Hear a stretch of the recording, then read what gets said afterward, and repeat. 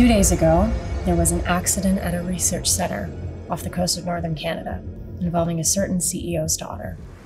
We need a team to go in and extract her within the next 24 hours. What do you know about me?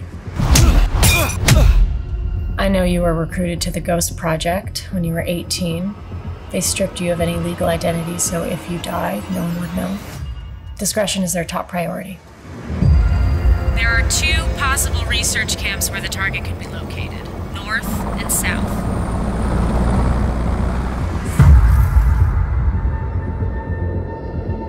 Any idea what we're dealing with? Just that it's dangerous. What the hell could have done that? Y'all see anything? My guess is that surviving on the island for longer than three days has proven to be difficult. Man, what the hell is that? It's us. That's us. But if it's killing everyone on the island, it's some version of us.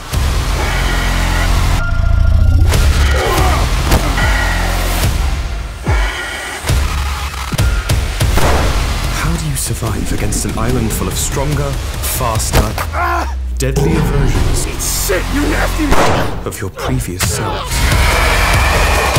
Look, this is gonna sound crazy. The whole island seems to be surrounded by some sort of wormhole.